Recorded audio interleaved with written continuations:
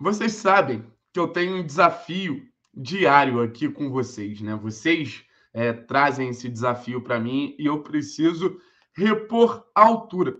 E qual é esse desafio? Sempre trazer conteúdo de qualidade, sempre trazer conteúdo novo, com novos formatos. E hoje a gente vai estar apresentando um quadro novo para vocês, um quadro que especificamente eu acho muito importante de estar sempre batendo na tecla, que é o contexto. O que, que a gente vai trazer nesse novo quadro?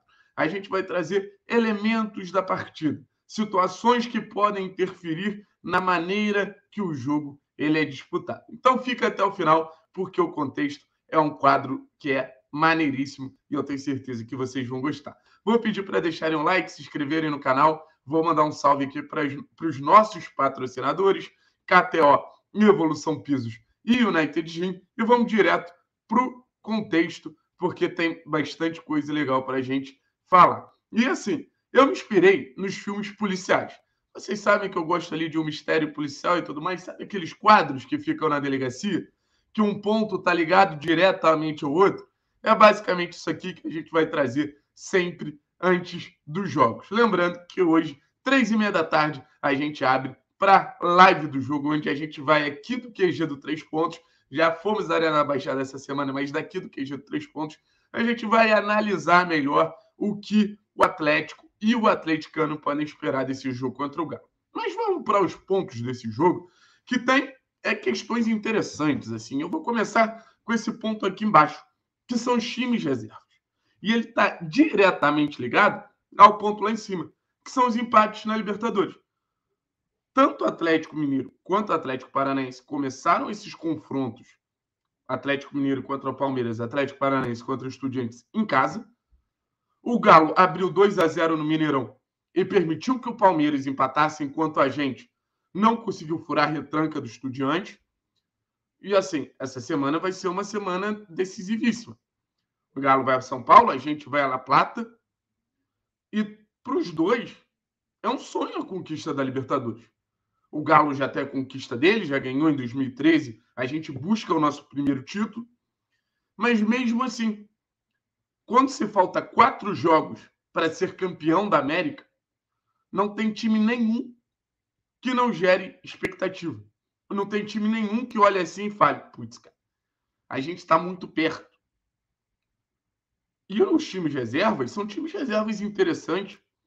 O Galo foi um time que se reforçou muito nesse meio de temporada. E a gente deve ver um Pedrinho em campo, a gente deve ver um Allan Kardec em campo, jogadores históricos do Galo, como é o caso de Hever, como é o caso de Nacho, outros jogadores que frequentam ali o time titular, o caso do Alain, um reencontro com o Otávio aqui, realmente volante que começou no Furacão. E o Atlético também com bastante força, principalmente ofensiva, né? Você traz o Vitor Roque para o jogo, que a gente vai falar dele mais aprofundadamente.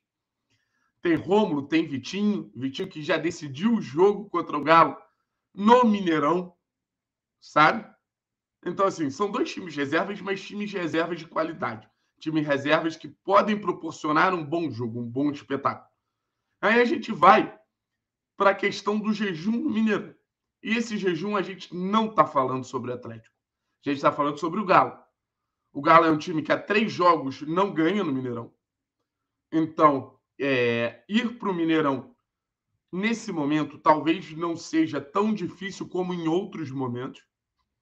O Galo, que é sempre esse time é, que se impõe e se impõe muito no Mineirão. Independente do mando de campo, em Minas Gerais o, o, o Galo ele vira um time muito mais forte e foi uma característica muito significativa dos times é, fortes do Galo, né? 2012, 2013, até mesmo 2014 na Copa do Brasil. Aí esse time recente de 2021 também tinha uma força muito grande em casa. Mas é, acho que o Atlético ele pode aproveitar essas oscilações. E acho que não tem como não vir na cabeça o confronto contra o Palmeiras. Um confronto onde o Atlético ele entra muito concentrado. E eu acho que a concentração vai ser um fator fundamental. E arranca um empate. Empate. Não, arranca uma vitória no Allianz Parque e uma vitória significativa. Uma vitória importantíssima para criar uma confiança para passar credibilidade desse time B para o torcedor. A maneira como o Romulo foi olhado depois desse jogo mudou, que o Vitor Bueno, que o Orejuela, que o próprio é, Bento, sabe? Jogadores que não tinham tanta moral com a torcida, mas jogos grandes como esse mudam essa perspectiva. E para isso o Atlético ele vai ter que entrar muito concentrado. E vai depender de outro elemento desse quadro, que é o confronto Cuca versus Filipão. Dois grandes treinadores brasileiros, dois grandes treinadores que já tiveram passagens até por clubes parecidos, como foi o caso do Palmeiras, e dois grandes treinadores que têm uma característica e uma qualidade muito parecida, que é a capacidade de mobilizar o elenco. Eles vendem uma ideia para o seu elenco e esse elenco ele costuma comprar essa ideia. Então, tanto o Cuca quanto o Filipão são dois caras extremamente persuasivos. E para um jogo como esse, você precisa ter o treinador passando o seguinte recado: a gente vai precisar se dedicar ao máximo, a gente vai precisar jogar muita bola. Vocês precisam entrar concentrados. Não dá para o Atlético entrar, o Atlético Paranense entrar como entrou contra o Botafogo. Ali eu acho que é o, o pior exemplo possível de jogo onde o time mostrou um certo descaso. Mostrar um certo descaso contra o Galo no Mineirão é algo que você não vai ser permitido, assim. Senão você vai ter um preço muito caro a pagar. Preço muito, muito, muito caro. Mesmo esse galo oscilante, mesmo esse galo que em alguns momentos vem até dentro do seu modelo de jogo, de muita pressão, de muita mudança de posição, vem jogando mal. Aí a gente vai falar do fato do Atlético reencontrar um adversário de um momento muito importante da história recente do clube, que foi a final da Copa do Brasil. Um adversário que passou por cima do Atlético naquela final, tinha uma vantagem técnica muito grande, que hoje eu acho que o equilíbrio ele fala mais alto.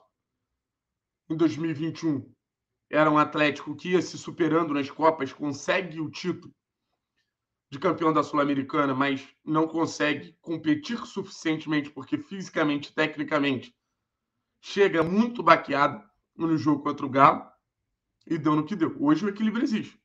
Entre os titulares, entre os reservas, o Galo pode até, um, até ter um elenco melhor, investe há mais tempo, investe mais. Mas é um Atlético que se aproxima. Eu acho que é um dos grandes desafios do Atlético se aproximar a essa primeira prateleira e conseguir competir de maneira equilibrada contra Galo, e conseguir competir de maneira equilibrada contra Palmeiras, e conseguir competir de maneira equilibrada contra Flamengo, contra Corinthians. E o Atlético ele vem conseguindo ao longo da temporada. Tanto que hoje a gente vê um Atlético entre os seis melhores. Enquanto eu estou gravando esse vídeo, a gente ainda está entre os quatro melhores, mas tem chance do Flamengo ultrapassar a gente, mas entre os seis a gente fica. E um Galo? Não. E um galo de investimento muito maior? Não. E um galo de uma expectativa muito maior? Não.